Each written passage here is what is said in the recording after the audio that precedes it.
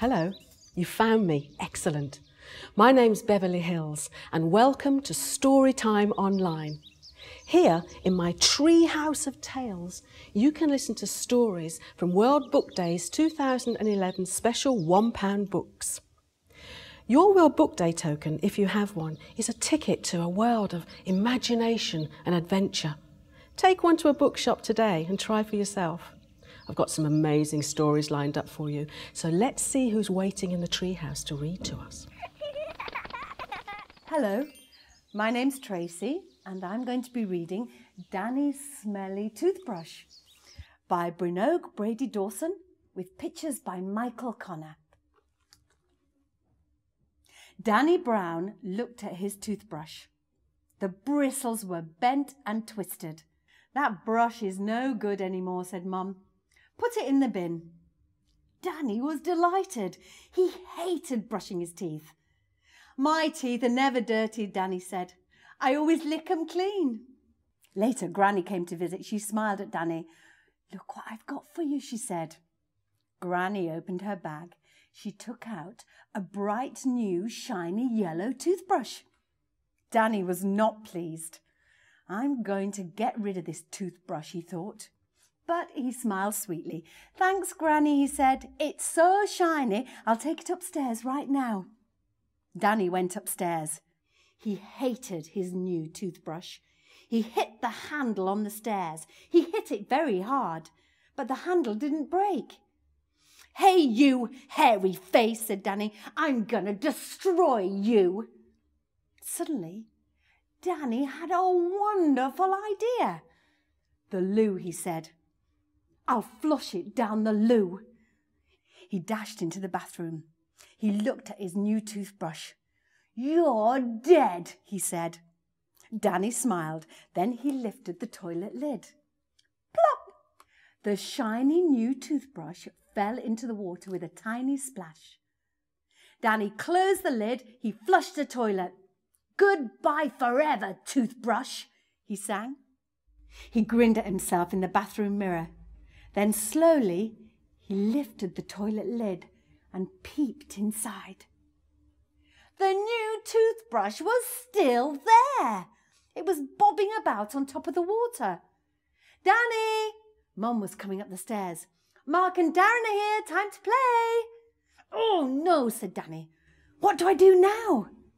Danny rolled up his sleeve. He reached into the toilet. He fished out his shiny new toothbrush. Yuck, he said. Danny ran downstairs. He could feel the wet toothbrush in his pocket.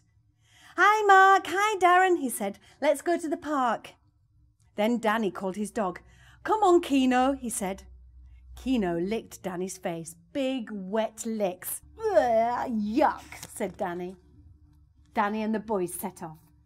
Guess what, said Danny to his friends. I need your help. I have to get rid of something.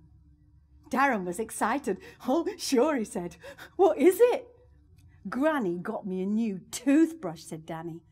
Mum told her to. Mum's crazy about brushing teeth. I have to do it every morning and every night. I'm sick of it. Danny took the toothbrush from his pocket.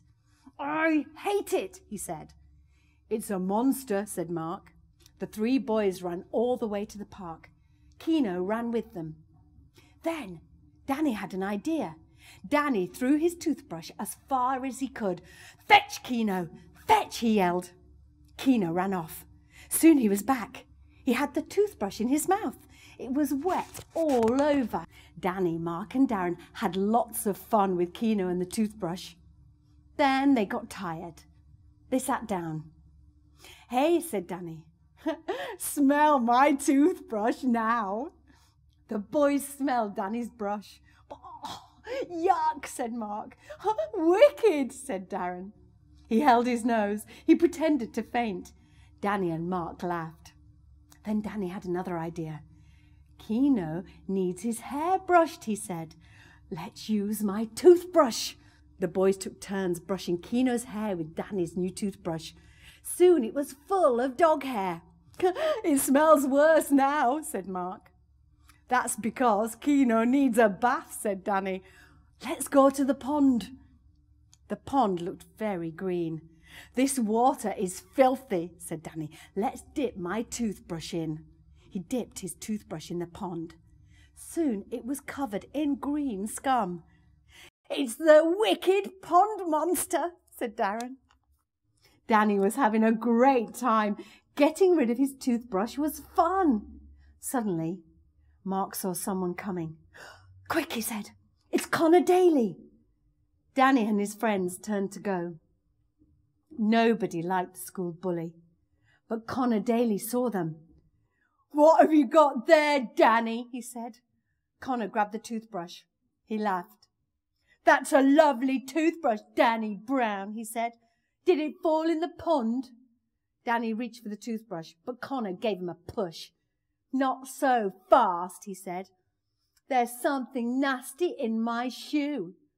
Then Connor Daly cleaned his shoe with Danny's new toothbrush. He laughed loudly. then he threw the toothbrush at Danny and ran off.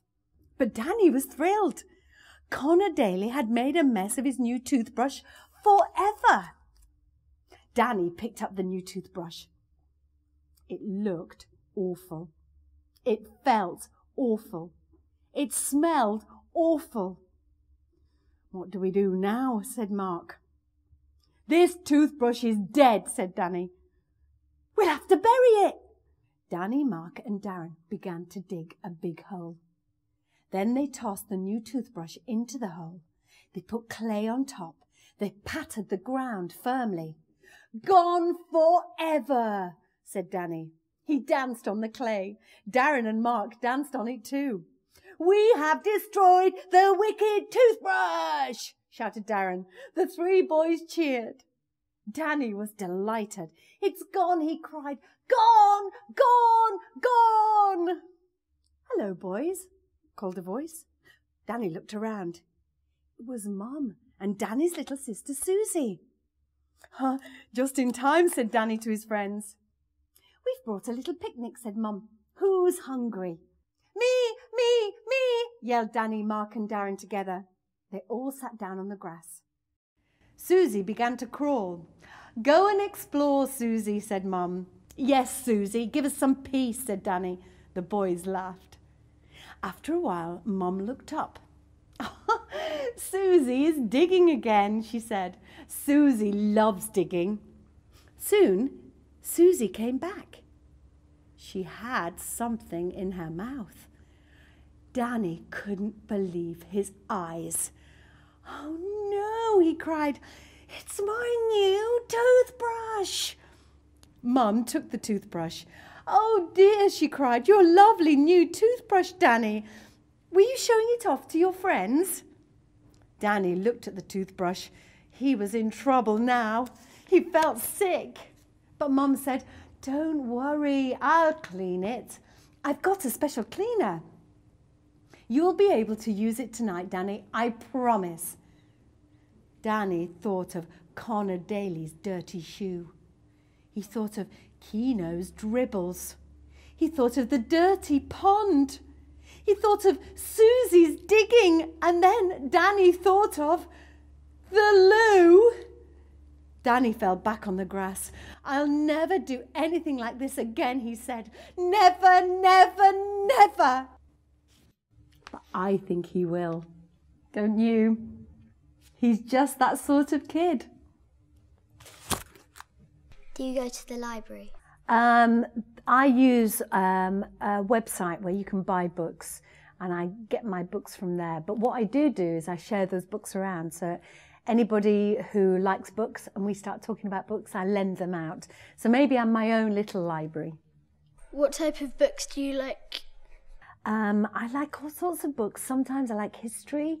Uh, sometimes I like fiction or biographies about other people, you know, famous people.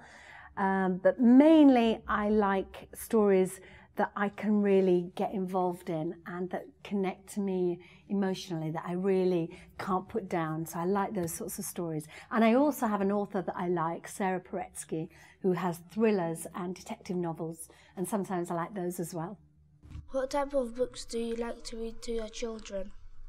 I have two children and I've read to both of them and I love it. Sometimes I force my 13 year old to let me read to her. And she's like, I can do it by myself, Mum. And I said, No, I'd like to read. Please let me. And she's reading um, The Spirit Gatherer, I think it's called, uh, at the moment. And that's a fantasy set in a, a future world. And I really enjoy that. I like doing all the voices. What books do you like to read to your children that you'd like to share? I'd like to tell you about a, a, really great book called Hitler Stole Pink Rabbit, about a little girl who during the war was running away from Hitler's Germany and she has her pink rabbit with her and it's this big adventure about how they eventually get to safety. It's a super book.